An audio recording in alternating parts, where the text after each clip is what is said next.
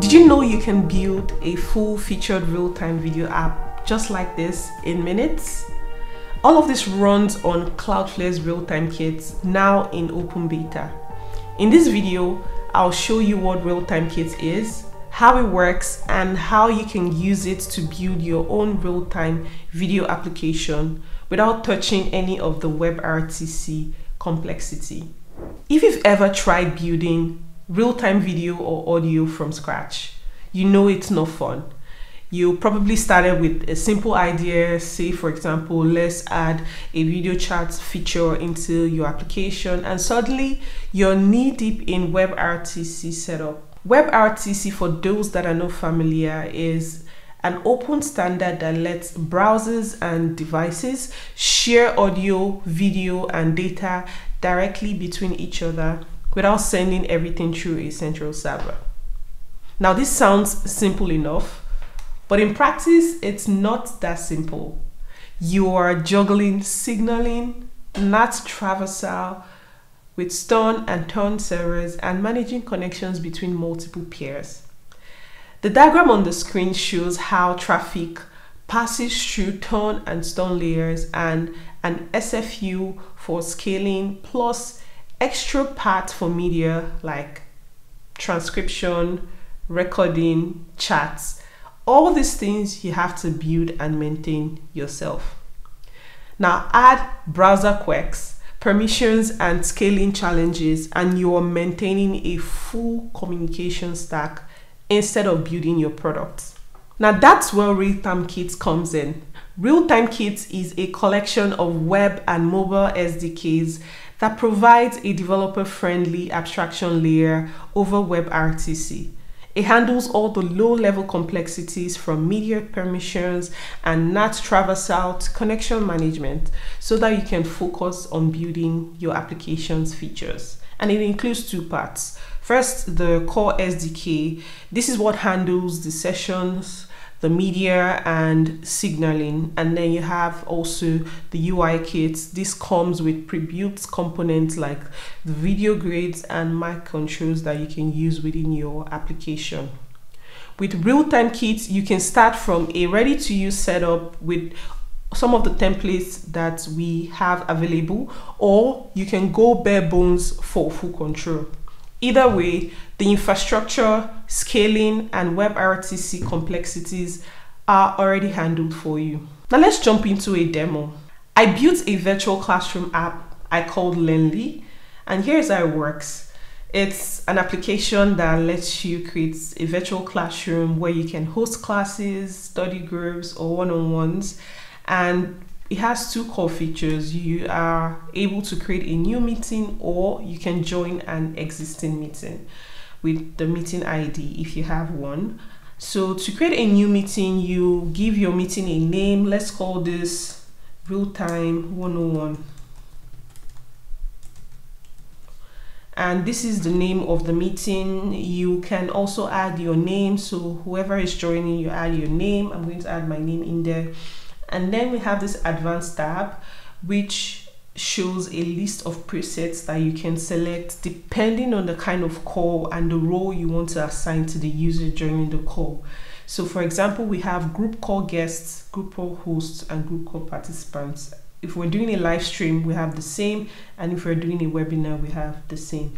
So these are roles you want to assign to users joining the call simply because they have different privileges. As a host, you can, for example, um, start a recording or you can um, add people or remove people from the call, or mute people.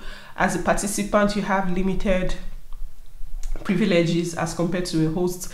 Whenever I create a new meeting, I always want my the person creating the meeting to be the host. So I'm going to set that and then start this meeting. When you start the meeting, you see an initial page where you can select, for example, your audio device, your where the camera that you're using, and also the um, where the volume of the call is coming from. So the mic and the video. We also have this effects tab here where you can, for example, blur your background if you want to, or add a virtual background if that's what you want before then joining the call. And then when you join the call, you see similar features that you are familiar with already with applications like this one. For example, you can share a screen, you can turn on your mic, turn off your mic.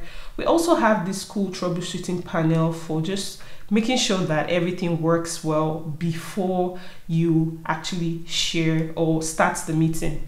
And also have the effects tab here as well. On this side, we have the chats tab, the polls if you're going to be running polls for your classroom. You can see here all the participants and those requesting to join and the plugins. The plugins is actually a very useful feature in this um, scenario. So we're hosting classes and we want to share documents. We can use DocShare. We want to illustrate. We can use Excalidraw plugin, or we want to use a whiteboard. We can use that as well. So this is my demo in a nutshell. Now let's look at the code. So my application is composed of two parts, the back end and the front end. The backend is wired up with a Cloudflare worker that has three endpoints. One is meetings, tokens, and presets. So these are what is calling the real-time kit API in my worker. I decided to use the worker, but you can also do this directly from the dashboard or you can use the API using curl but I feel like this is more intuitive and I can programmatically do it directly from the UI without um, doing any API calls because I have that wired up, right? So for my meetings endpoints, I have a few parameters that I need in order for this to work, which is the account ID, the application ID, that I have created because for every new real-time kit application, you need to create an app and you need the app ID and then my CF API token. And after I have all of those, I send a request to the API so that whenever I click create meeting in the UI, this is what triggers and a meeting is then created. Next, we have what issues the token. So for every participant that joins a meeting, they need to have a token assigned to the user. And how do you do this? You can use the um, slash meetings, slash meeting ID, participants. This API endpoint is what you use to create a token. And the way that I've wired up my application is whenever a user tries to join a meeting or tries to create a meeting, a token is automatically created for the user. And when they need to join the meeting they still need to use the token every single time they join because this is what verifies the user before they join the meeting.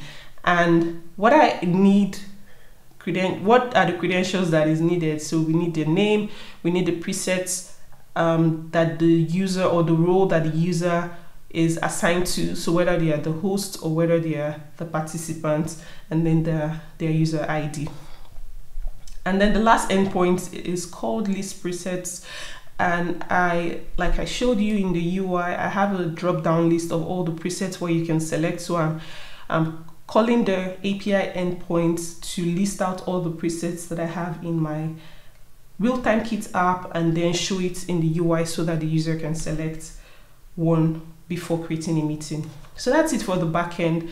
For the front end, I have two main components um, pages that I created. First is the home. This is what you see when you first um, open up the application. And this is where I'm calling all the different endpoints.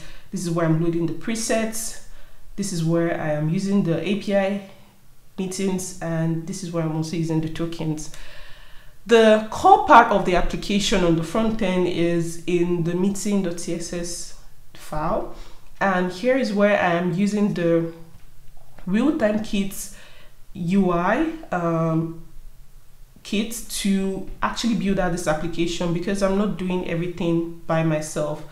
And for this, I have installed two libraries, the Cloudflare Real-Time Kit React UI library and the actual real-time kits react library as well because I need it to set up my application. And here I'm calling this component real-time kits. And passing my meeting and also the custom configurations that I have added like the blur background that I showed earlier.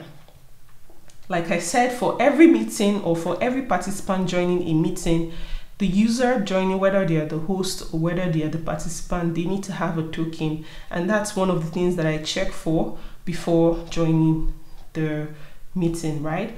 And here I have written out a custom toggle control bar that shows you the the options to blur your background or the options to add a virtual background. Here I've passed in different parameters like the blur strength. This goes from 0 to 100 so you can always update it.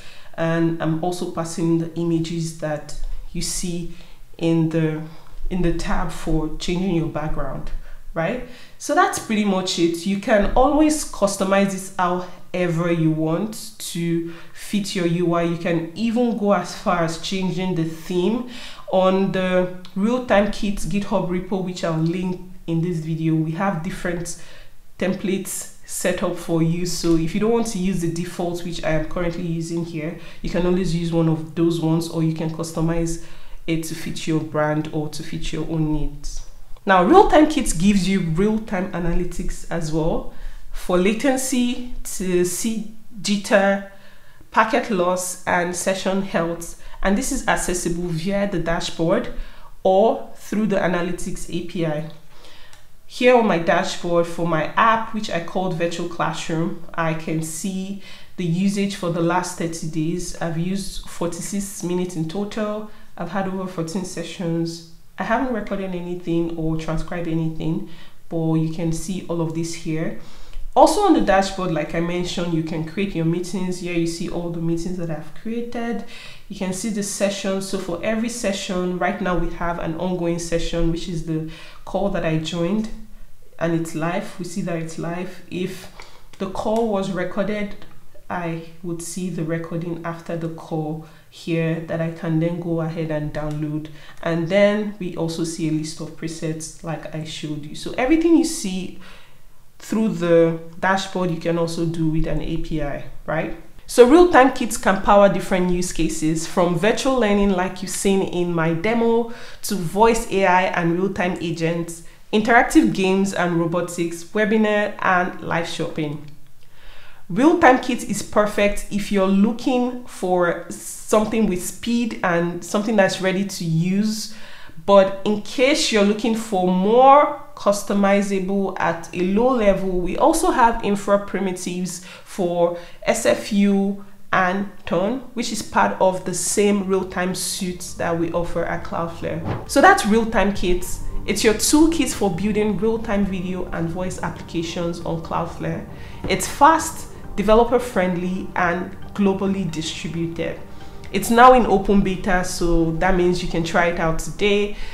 Feel free to check out the description where I'll be linking the docs as well as the sample demo that I showed in this video. Thank you so much for watching and I'll see you in the next video.